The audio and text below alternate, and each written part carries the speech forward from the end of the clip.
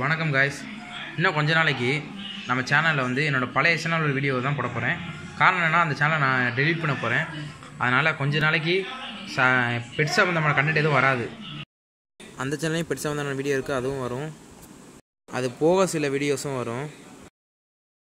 So வாங்க வீடியோக்குள்ளே போகலாம் ஹாய் ஃப்ரெண்ட்ஸ் இப்போ நம்ம தண்ணி பாத்திரம் எப்படி தொட்டி க்ளீன் பண்ண பார்க்க போகிறோம் தண்ணியை பாருங்கள் ரொம்ப அழுக்காக இருக்குது இதை நான் முந்தானத்து தண்ணி மாற்றினேன் ஃபுட்டு நிறையா போட்டனால இப்படி ஆயிடுச்சு. ஃபுட்டு தயவுசெய்து நிறையா போடாதீங்க. ஒரு மீனுக்கு ரெண்டுன்னு போடுங்க.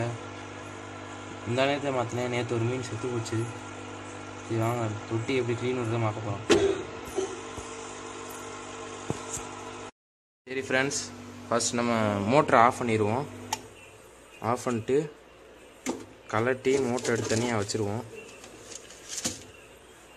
அடுத்து மீனை பிடிச்சி ஃபஸ்ட்டு போட்டுருவோம். மீனை பிடிக்கும் போது இந்த த- பழைய தண்ணி இருக்கா அதில் கொஞ்சத்தை எடுத்துக்கணும். ஏன்னா அந்த தண்ணியில் அதுக்கு தேவையான பேக்டீரியா நல்ல குட் பேக்டீரியா இருக்கும். அதனால் அந்த தண்ணியில் கொஞ்சோண்டு தண்ணி எடுத்துக்கணும். வாங்க கொஞ்சம் தண்ணி எடுத்துப்போம்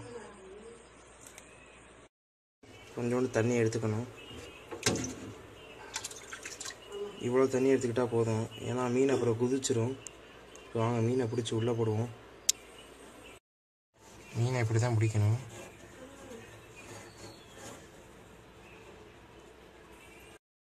பிடிச்சி அதில் போட்டுருவோம்.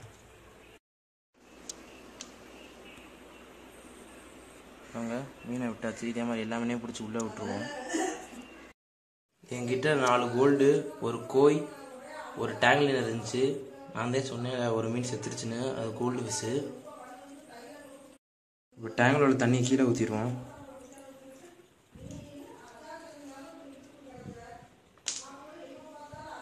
ஸ்லோவாக ஊற்றணும்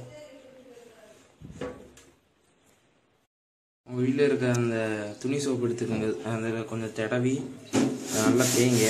ஃபுல்லாக அப்ளை பண்ணுங்கள் கொஞ்சம் கிளியாரிட்டி கம்மியாக இருக்கும். கொஞ்சம் அட்ஜஸ்ட் பண்ணிக்கோங்க. நல்லா ஊற விடணும். ஊறினதுக்கப்புறம் கழுவுறதுக்கு முன்னாடி கொஞ்சம் உப்பு போட்டுக்கோங்க. உப்பு போட்டுட்டு தண்ணி நல்லா ஊற்றிக்கோங்க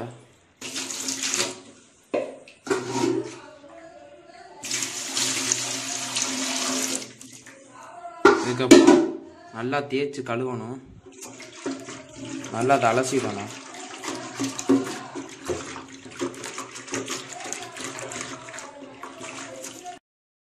கொஞ்ச நேரம் ஊறட்டும்.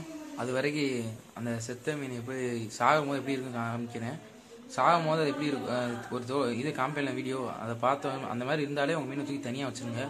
இல்லைன்னா செத்துச்சுன்னா அந்த வாடையிலே ப- மிச்ச மீன் சாகிறதுக்கு நிறைய வாய்ப்பு இருக்குது வாங்க பார்ப்போம். சாகுற மாதிரி கிடக்கலாதானா செத்துரும்லும் நல்லா ஃபோர்ஸாக தண்ணி வச்சு கழுவணும். நல்லா ஃபோர்ஸாக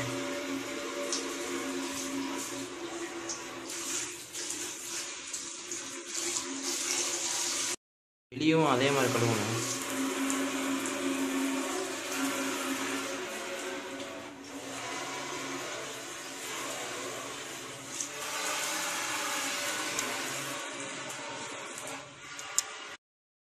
இந்த தண்ணியை கீழே ஊற்றிட்டு மறுபடியும் அதே மாதிரி அந்த இதை வச்சு ஃபோர்ஸாக அழிக்க ஃபோர்ஸாக தண்ணி அடிக்கணும்.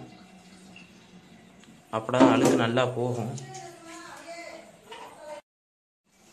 இப்போ அதே மாதிரி திரும்ப கழுவணும்.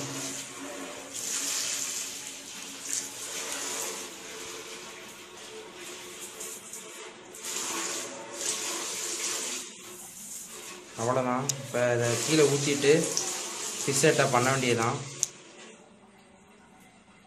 சரி வாங்க ஃப்ரெண்ட்ஸ் தண்ணியை ஃபில் பண்ணி மீனை உள்ளே விட்டு மோட்டரை போட்டு விட்ருவோம் வாங்க.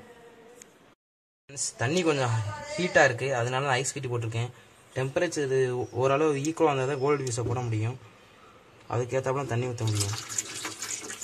அதனால் கொஞ்சம் போட்டிருக்கேன் இப்போ வாட்டரை ஃபில் பண்ணிடலாம்.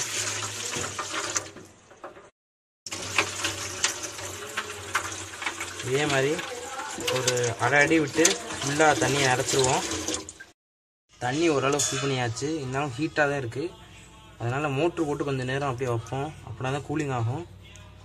சரி மோட்டரை வச்சுருவோம். வாங்க மோட்டரை வச்சுருவோம். எடுத்து உள்ளே போட்டுருவோம்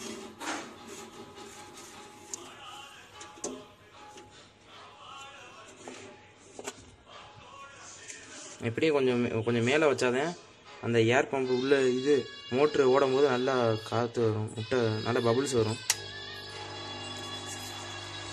வாங்க.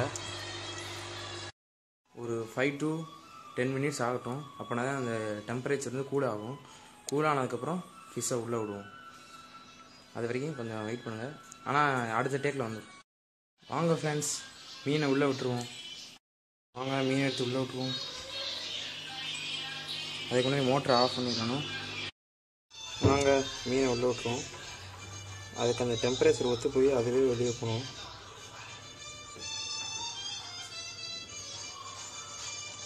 அது விரும்பி அது ஒன்று ஒன்று வெளியே போயிட்டால் மீதியெல்லாம் வெளியே போயிடும்.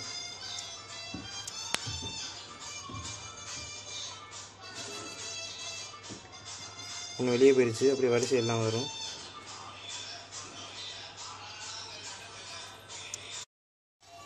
கொஞ்சோண்டு உப்பு போட்டுப்போம். ஏன்னா தண்ணியில் உள்ள இதெல்லாம் க்ளீன் பண்ணிடும் அந்த கிருமி ஏதாவது இருந்தால் க்ளீன் பண்ணிடும் இப்போ மோட்டர் போட்டுட்டோன்னா அதெல்லாம் கறந்துடும் ஃப்ரெண்ட்ஸ் இந்த வீடியோ உங்களுக்கு பிடிச்சிருந்தா லைக் ஷேர் கமெண்ட் பண்ணுங்கள் மறக்காமல் நம்ம சேனலை சப்ஸ்கிரைப் பண்ணாங்க சப்ஸ்கிரைப் பண்ணுங்கள்